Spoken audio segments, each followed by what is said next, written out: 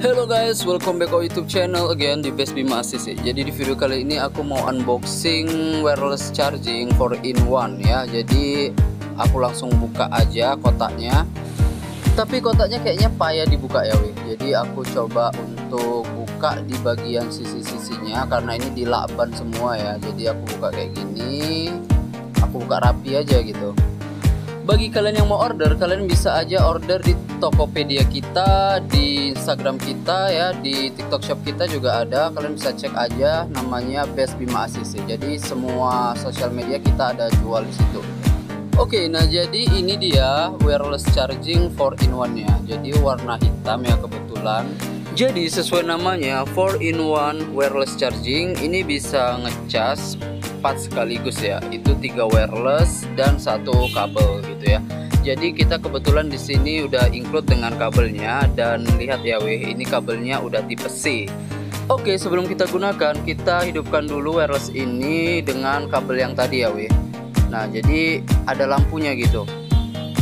Keren kali kan? Nah bisa dilihat ya. Jadi cocok kali untuk malam-malam kalian tidur sambil ngecas sambil ngidupin lampunya gitu ya. Oke kalau gitu langsung aja kita teskan di handphone iPhone 13 ini ya.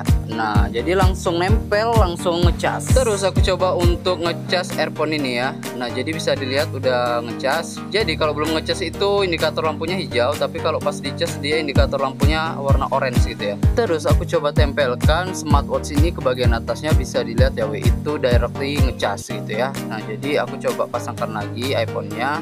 Oke jadi wireless charging ini memiliki empat tempat pengecasan. Di bagian depan itu untuk ngecas iPhone kita, di bagian atas untuk ngecas wireless Apple Watch kita, dan di bagian bawah ada dua untuk wireless dan ada menggunakan kabel. Yang satu untuk wireless earphone cas dan yang satu kabel untuk ngecas apa pun itu ya, mau itu handphone ataupun yang lainnya. Semua juga bisa, tapi menggunakan kabel. Jadi udah kebayangkan gimana multifungsinya wireless charging ini kan, weh? Pokoknya worth it untuk kita gunakan. Oke, jangan lupa untuk like, comment, and subscribe channel ini. And see you next time.